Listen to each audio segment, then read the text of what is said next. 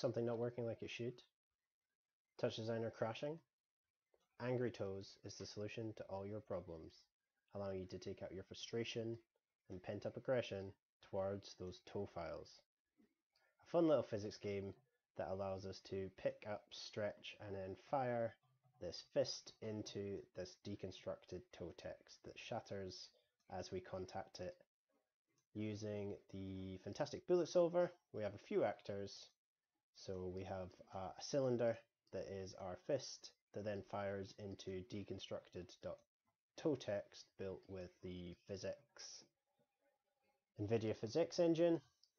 And then we have a bunch of fancy vector maths that allow us to work out how to apply force to the fist so that it responds naturally to the stretch.